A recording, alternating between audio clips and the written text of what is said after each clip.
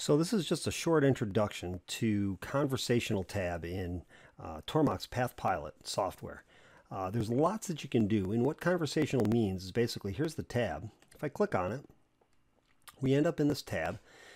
You look at all these different tabs across the top. These are the things that you can do without any CAM and without any CAD. You can just conversationally walk up to the machine and you can do all of these different operations.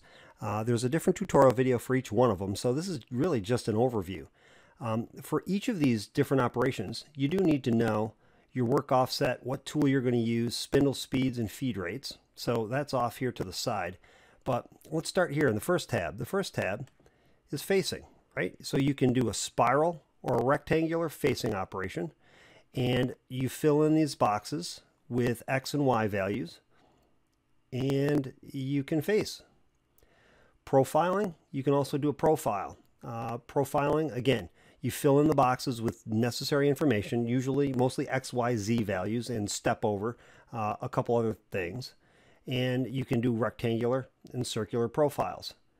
Same thing with pockets. Uh, just know that when you do the pocket, you also need to know the center of the pocket as well as how wide it is and how tall it is in the Y. Um, you also need to know the Z values. How deep do you want it? On the drill tab, we can do either a pattern, a rectangular pattern, or a circular pattern. And you just place the XY values of the centers of your holes, some information over here about the tool, and you can automatically just produce code that will go and drill the holes. No CAD or CAM necessary.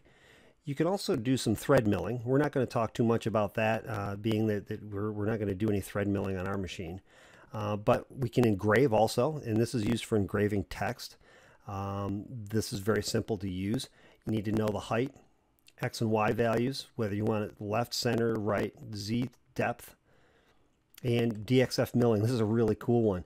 Um, in DXF milling, you can literally uh, load yourself a DXF like I did in this view, in this case, and you can mill uh, with a tool make any DXF that you want. You can actually do some engraving in it very simply without any CAD or CAM work. Um, so that's basically the things that you can do in the conversational tab uh, without CAD or CAM. Give it a try.